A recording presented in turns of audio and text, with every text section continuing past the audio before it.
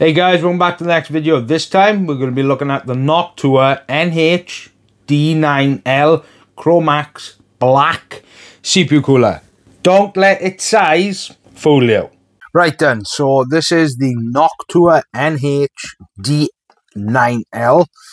Big thank you to them for sending this out. Now let's actually see what's in the box. So, okay, so it comes with an accessory pack. This is everything that's included and it supports AMD and Intel. Comes with thermal paste, the screwdriver, and then there's also those annoying clips. But let's have a look at this first. Okay, so there the annoying clips. Here is the manual, which I will say is probably color coded. Yes, it is color coded and that is everything it supports. So that's what it supports amd and intel. So it's am4 am5 and of course this is all in documentation. It shows you how to put the cooler together tells you everything that's included. So let's get rid of this for a minute now. Okay so everything else.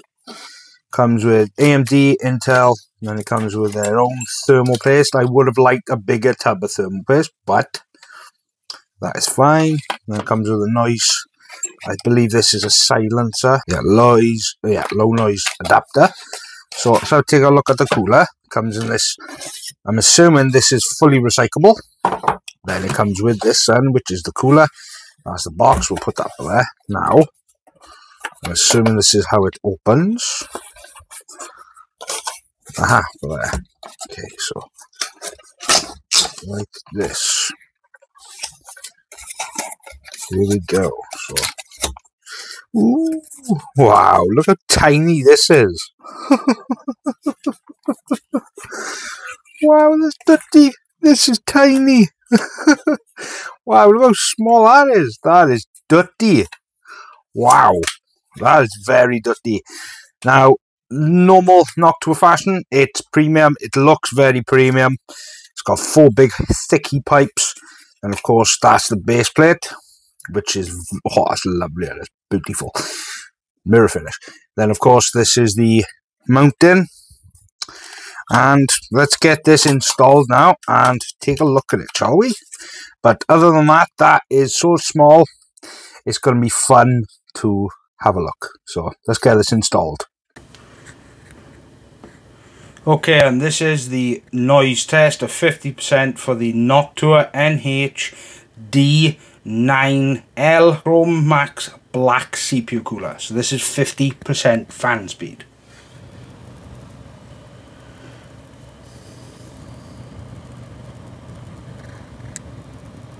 Can barely hear it. This is 100% fan speed.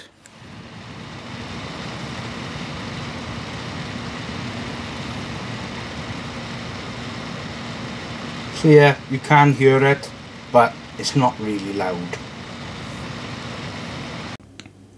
Right then, so when it comes to the thermals, and I've done two different types of tests. I've done one for AM4 and AM5. Now I have done the CPUs, both of them just out the box settings with no PBO, because this cooler isn't meant for that. It is, it has a TDP of 88 watts, so it's not meant for CPUs are drawn 200 watts, just so you guys know that. And the first test is with a 5900X just out of the box, no PBO. XMP was enabled, but the room temperature at the time of testing was 16 Celsius, and the room did go up by one, one degrees. So, for Cinebench R23, the idles were 29 Celsius with a max of 72. Blender Classroom, the idles were 29 with a max of 70 Celsius. Blender BMW, the idles are 29 with a max of 69. And 3D Mark CPU test, the idles with were 29 Celsius with a max of 71. Right, so when it comes to the AM5 system, I did use my main system. It is a Ryzen 9 7900. It does have a 65 watt TDP, but this particular CPU does draw 90 watts even at that. So I thought this was actually a good test. Now, the room temps were 16 Celsius during the testing, but it went up by 3 Celsius. So you do have to put that into consideration. Now for Cinebench R23, the idles were 30 Celsius with a max of 62. The Blender Classroom was idle at 30 with a max of 58. Blender BMW, the idle of 30 with a max of 60. And 3D Mark CPU test, the idle of 30 with a max of 64. And the 5900X was drawing 140 watts, while the 7900 CPU was drawing 90 watts, respectively. Okay, guys, what did you think? Now, for a little air cooler, it performed well. 5900X, yeah, it's not the most demanding CPU out there, but at stock settings for a cooler that's rated at 88 TDP, it handled 140 watts, no problems. I didn't want to push it because at the end of the day, I didn't want to damage my stuff because at the end of the day, the further you push a CPU, you can risk have you can tend to have a risk of damaging something. So I wanted to keep this within its spec and it over delivered on the 5900X. It performed well with the 7900. Now, if you guys don't know who Noctua are, you've clearly been living under a rock. But, no, I'm joking. But Noctua are up the top. They are like one of the top tier CPU cooler brands out there. Them, Be Quiet. You've got the you know there's a lot of brands out there that do CPU coolers, but the top two I'd say Noctua and Be Quiet.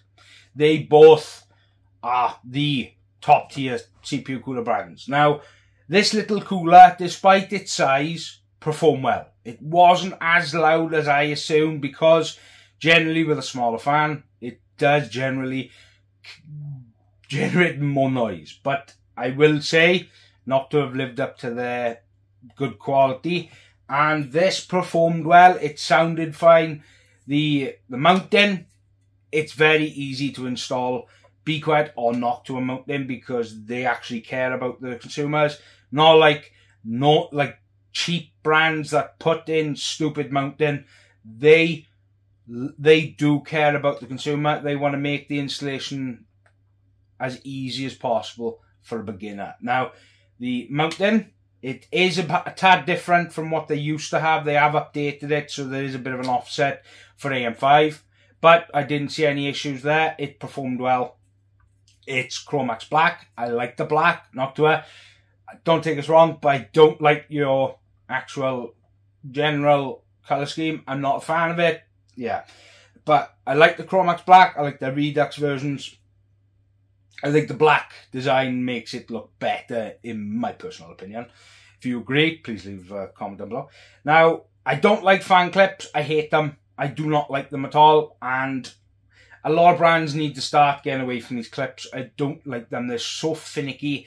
And you've got to take things out sometimes to get your hand in there. I haven't got small hands. I've got quite big hands. So trying to get these little clips off, it was an absolute nightmare for me. But that's because I got quite big hands. Now, not to say that they don't work. They do work. Clips are being used for years. Years and years and years. Since back into the early 2000s, they've been used. So, but I just personally don't like the clips. I wish all brands, every brand would just move on from the clips and try and make something a bit different like Arctic did with their Freezer 36 with clip-ins, then it'd be a lot easier for, well, me personally. But if you don't like the clips, please leave a comment down below because I hate the clips. But that's no negative thing against uh, Noctua because many brands use clips and I say it in all my videos. I do not like the clips. Doesn't matter what brand it is. I hate the clips. That is just me personally. Just I, I just don't like them. Now, it's built well. £65. Uh, now, this is more, like I said, it's a premium brand, so you're going to be paying for the brand. Whether I agree it's worth it or not, that is left for discussion.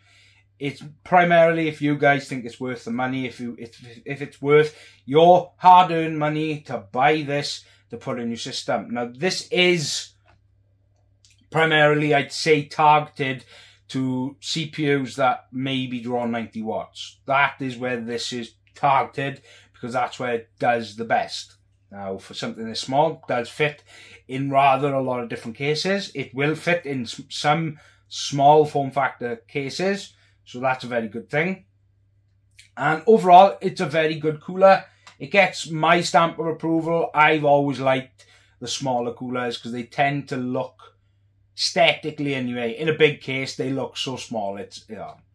But I'd like to say thank you to Noctua have sending this out as well as their thermal paste guard.